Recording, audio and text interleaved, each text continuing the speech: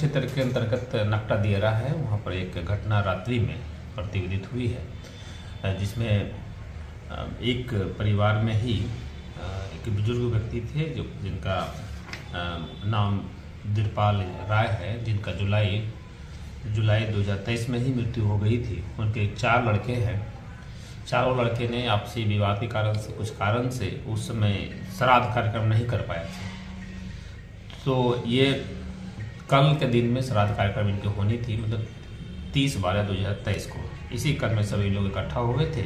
श्राद्ध कार्यक्रम में ही आपस में झगड़ा झंझट हो गया और झगड़ा झंझट होने के क्रम में गोलीबारी की घटना घटित हुई, जिसमें कुल चार लोग घायल हुए हैं। चारों लोग अभी पीएमसीएच में इलाज कर रहे हैं। हम लोग ने फर्द प्राप्त कर लिया है। फर्द प्राप्त करने के बाद उनकी जिन, जिनका जिनका नाम आया, उस सत्यापन का गिरफ्तारी की कार्रवाई हम लोग आगे कर रहे हैं।